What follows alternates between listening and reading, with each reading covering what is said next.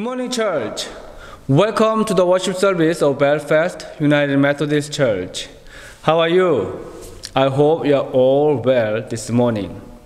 Today we celebrate the third Sunday after Pentecost. As we celebrate this moment together, I pray that the Holy Spirit is upon you and fills you with joy and gratitude. And also, I pray that you can find peace and comfort in the midst of this time together.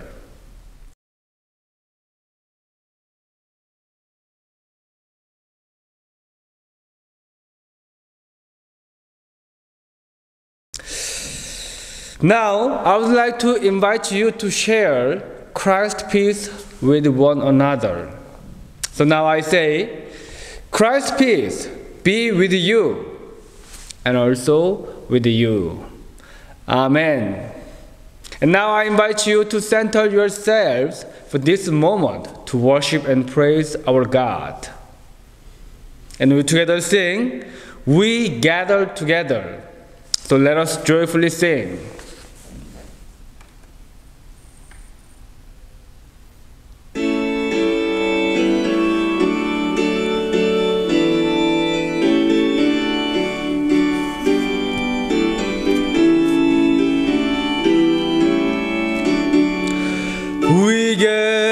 Together to ask the Lord blessing.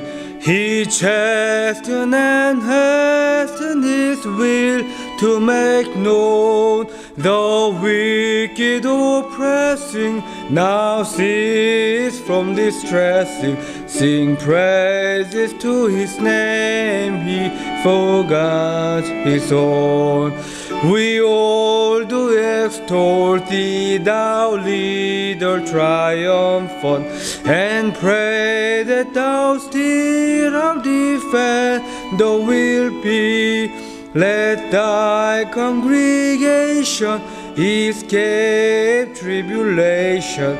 Thy name be ever praised, O Lord, make us free. Amen. Now please join me in the call to worship. O God, our guide and helper, we come to worship you. You stay beside us as we journey through life. O God, our just and holy one, we come to thank you. You lead us in your path of justice and peace. O God, our trustworthy leader, we come to praise you. We know we can always rely on your promises, O God. We gather to worship, praise, and thank you. Amen. And now please join me in the prayer of invocation. Christ Jesus, we come into your presence from many different places. We come with songs of joy and shouts of gratitude. We come carrying heavy burdens and sighs of suffering.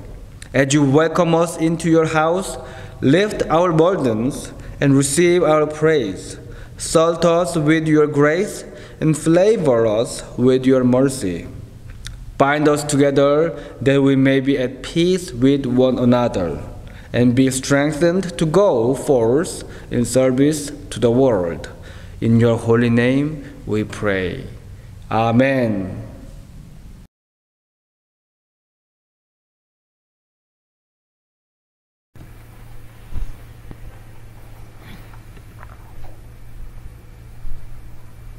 As I went down in the river to pray, studying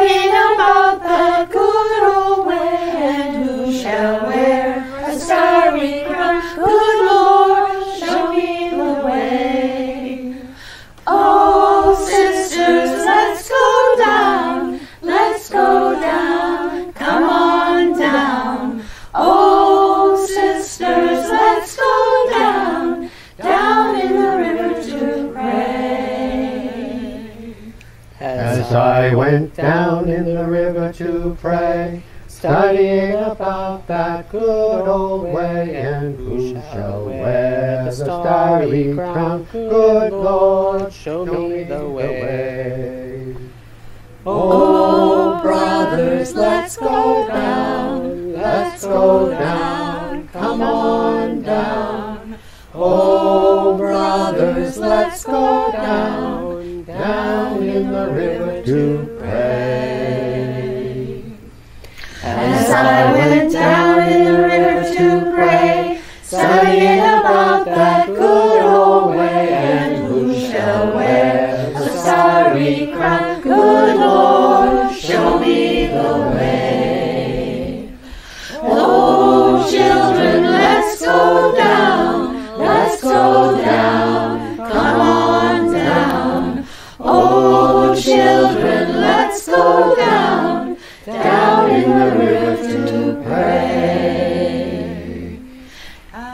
I went down in the river to pray, studying about that good old way, who shall wear a starry crown? Good Lord, show me the way.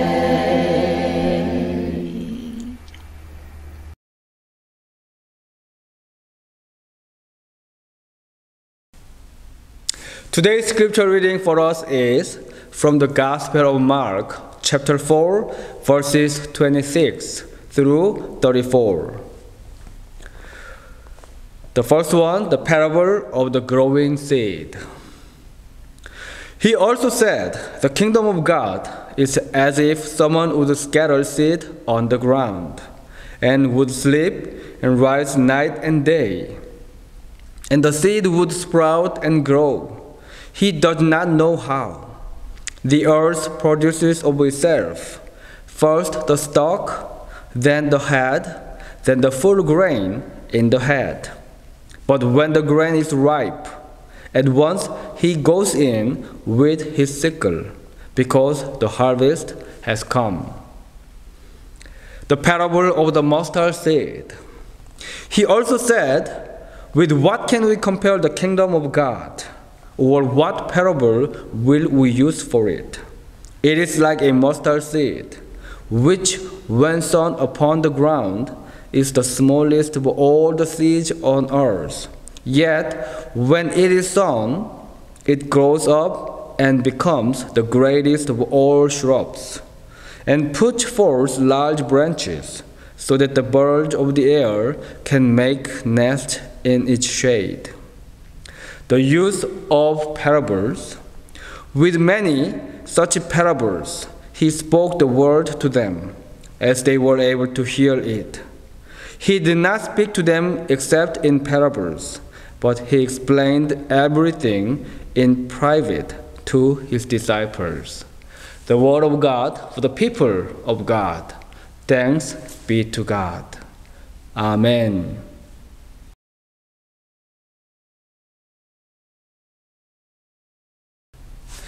As you know, Jesus lived his life with a perspective that was different from most of the people he met. One of the things that characterized the ministry of Jesus was his ability to see beyond ordinary appearances. We usually see people in terms of what they were in the past and what they are now. Jesus, however, viewed others not so much in terms of what they were and what they are, but in terms of what they would become as a result of the liberating power of God. An ordinary fisherman becomes the rock on which the church would be built. A dishonest tax collector becomes a trusted friend and disciple. Outsiders are invited to be leaders. The unclean are restored to fellowship. The hopelessly ill are made well again. an angry Pharisee who is a persecutor of the church becomes the apostle to the Gentiles. We see in the Gospels that many who heard and believed the good news from Jesus were liberated from the prison of a negative perspective and given instead a perspective of possibility through the transforming power and liberating love of God. In Christ, good things are possible, not because of our own effort and ability, but because of the redemptive power of God. Because of this power from God working in us, our lives will be full of possibilities. Now, my question is this What does it mean by living with the fullness of possibilities? We believe that everything is possible in God. What does it mean in our faith journey? In my faith journey, I have struggled to figure out what it means to live with possibilities in God. I have one diary that I have kept since I was a high school student, so it's uh, more than 20 years now. Uh, there are many prayers written on the diary. Um, I wrote a lot of you know, prayers on it. And one of them was this Don't laugh at me. Dear God, please let me be on top of all students in college entrance examination in South Korea. Uh, are you laughing? all right. Um, I believe that you know, God can do anything. I, God could do anything for me back then. So uh, that was one of my um, common prayers list in my list. Back then, I was full of faith in God. I boldly prayed to God but as you now expected, probably guessed, that didn't happen actually. Actually, I was very, very, very far from being on top of all students who took the college entrance examination. I understand now why. Because God doesn't work like that for us, right? Instead, what God is doing for us is sow seeds first. Help them grow and move forward and move toward each fruition, little by little and day by day. Several years after the boldly repeated prayer for the college entrance examination, God helped me to graduate, uh, to, uh, graduate um, from the college with the top honor. So now I see God had worked for me, right? More than that, yesterday, three years ago, so June 15 in uh, 2018, I was fully, uh, I was finally ordained in the New England Conference with the support and prayer of the church and the people around me. The moment of my ordination didn't come into my life so quickly and easily. It had taken almost 20 years for me to be ordained since I responded to God's calling to ministry when I was a high school student. God saw a seed. God saw a seed in the heart of a teenager boy. And since then, God had helped and guided the boy to grow and grow, and finally moved him toward its fruition, ordination. This is how God works in our lives. And this is what we learn from the Gospel of Mark we read this morning. Mark chapter 4 is mostly devoted to parables about seeds and planning and their relation to the kingdom of God. Mark 4 gives us hope that the reign of God is among us now, growing, living, moving toward its fruition, even if we don't know how and when. When Jesus tells his listeners that the kingdom of God is like a grain of mustard seed, which is one of the smallest seeds, but which becomes the greatest of all shrubs, he is actually inviting us to look at the world with new eyes and new faith in God.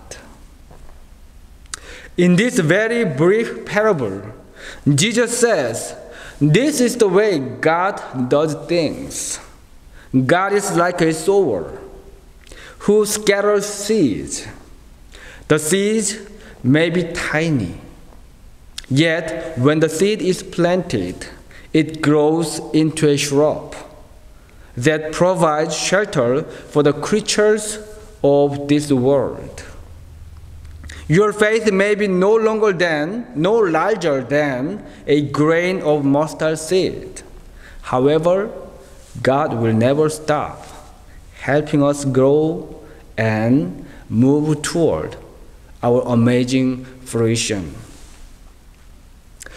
The winner of the Nobel Prize, Nobel Peace Prize, Mother Teresa. She began her uh, orphanage with such a vision. She told her superiors, I have three pennies and a dream from God to build an orphanage. A dream, a three pennies represented resources as small as a mustard seed, right? Mother Teresa, her superiors, tried it gently. You cannot build an orphanage with three pennies. With three pennies, you cannot do anything. I know, she said, smiling, but with God and three pennies, I can do anything. Like Jesus, Mother Teresa saw things in terms of what her faith and mission would become as a result of God's amazing power. Through her life, she proved that the message from the mustard seed, this parable, tells the truth for those who live with faith and in God's love and care. Now, I would like to remind you of this faith and this truth. Our church also has great potentials, right? I'm pretty sure you're on the same page with me. We have great potentials to grow. Like many other churches these days, we face many challenges such as finance and membership. However, those challenges never stop God from working for us and working with us. God's grace is greater than all the challenges combined, and God works for our church and also each of us day by day. This morning, through the message of the Gospel Mark chapter 4, God invites us to see things with the eyes of Jesus Christ and also with the eyes of Mother Teresa for our church mission. And now we all together respond to the invitation as we say yes to God.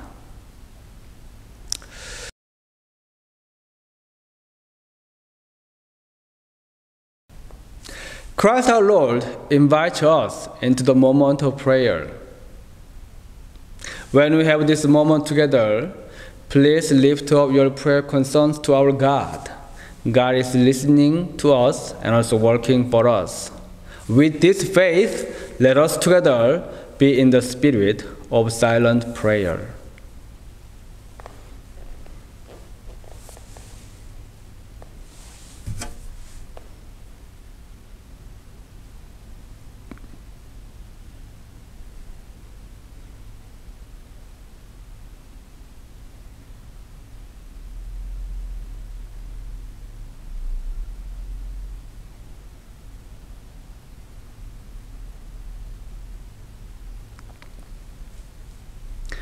God of love and mercy, you have called us and all your children into one family through the resurrection of your Son, Jesus Christ.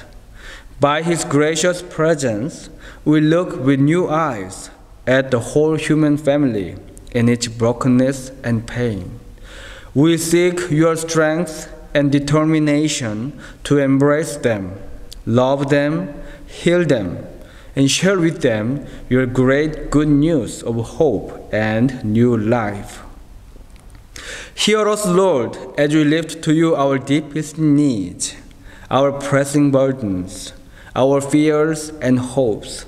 Be near us, we pray, as your people. Help us to receive your many gifts with gratitude and faithful stewardship. We pray for those who suffer pain or illness, for the lonely and despairing, for the lost and won and battled of our world. And we lift to you the leaders of this and every nation, community, and faith, that they would guided by would be guided by your spirit and aware of the needs, especially of the least of their people. Loving God and merciful God, we pray for those whose lives are closely linked to our own. We also pray for our own needs, which we offer to you in faith. To the sick, O Lord, give your healing. To the grieving, give hope. To the dying, give your peace.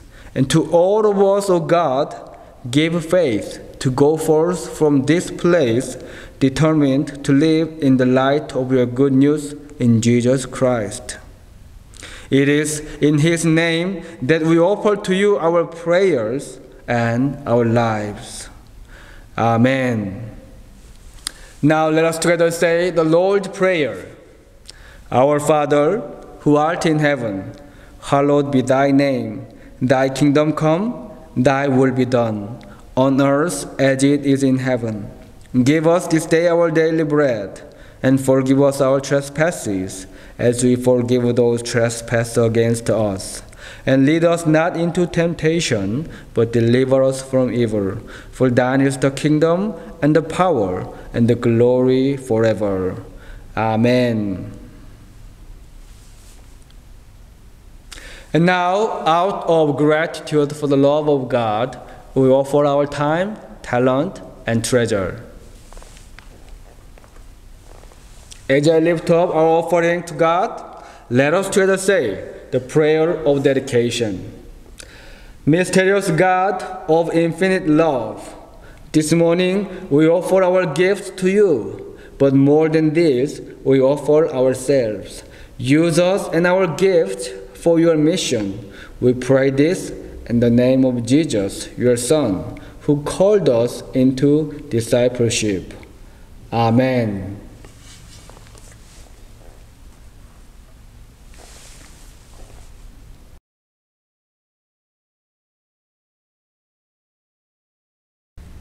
Christ our Lord invites to his table all who love him, who honestly repent of their sins, and seek to live in peace with one another.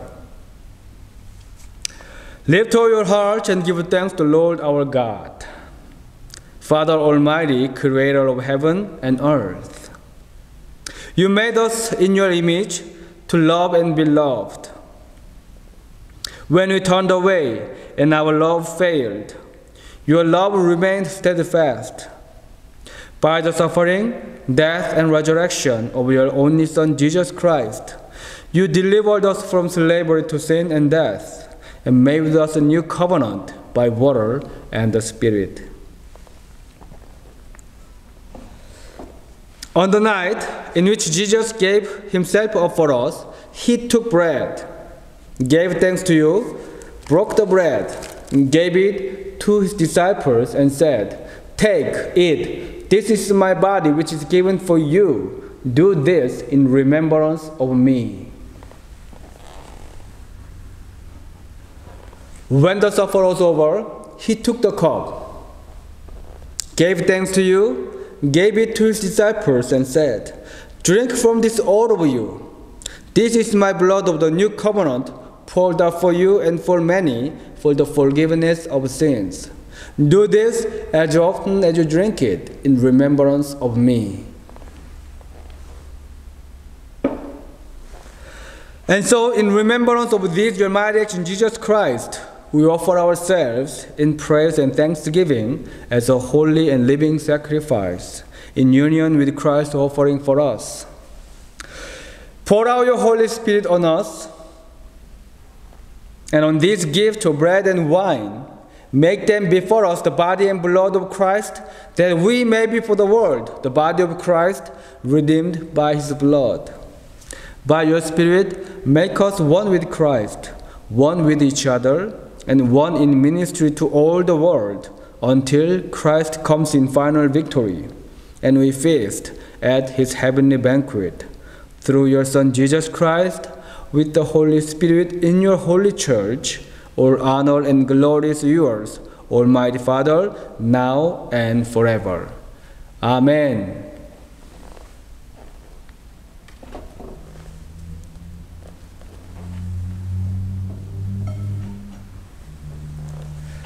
Body of Christ broken for us, and blood of Christ shed for our salvation. So let us together take both of them.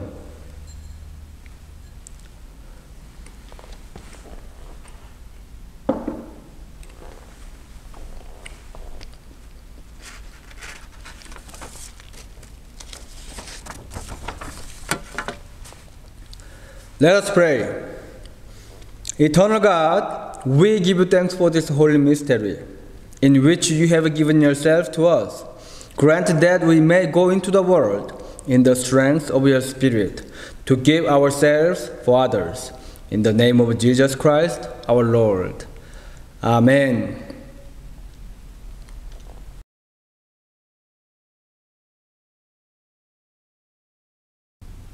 Our closing hymn for today's worship service is Great is Thy Faithfulness. Let us together sing.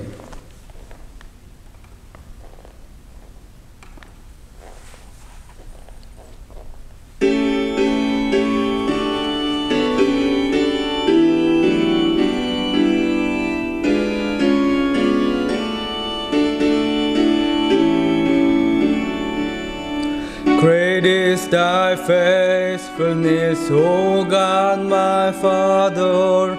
There is no shadow of turning with thee. Thou changest not thy compassions, they fail not. As thou hast been, thou forever will be. Great is thy faithfulness. Great is thy faithfulness. Morning by morning, new mercies I see. All I have needed, thy hand has provided. Great is thy faithfulness, Lord, unto me. Pardon for sin and a peace that endures. Thine own dear presence to cheer and to guide. Strength through the day and bright whole tomorrow. Blessings all my with ten thousand beside. Great is thy faithfulness. Great is thy faithfulness. Morning by morning, new mercies I see.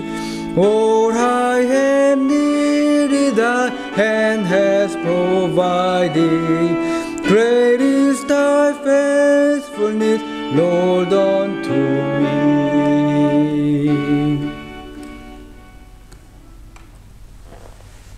Amen. Let us pray. May the God of peace, who raised Jesus Christ from the dead, strengthen your inner being for every good work.